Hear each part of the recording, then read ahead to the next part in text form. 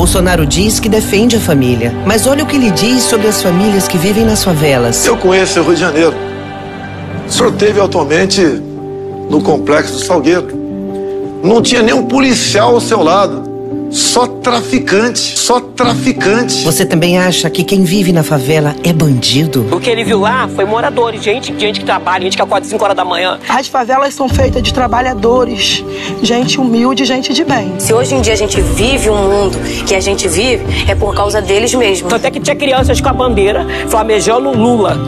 Agora, se ele viu um bandido, ele tem que botar um óculos. Errar em um nome da comunidade, Salgueiro, sendo que o Lula esteve aqui no Complexo do Alemão. E eu fui numa comunidade no Complexo do Alemão, povo extraordinário, trabalhador. Fizemos uma passeata extraordinária. E ali não tinha bandido na passeata, ali tinha mulher e homens que trabalham, que levantam 5 horas da manhã para trabalhar. Vote pelo respeito.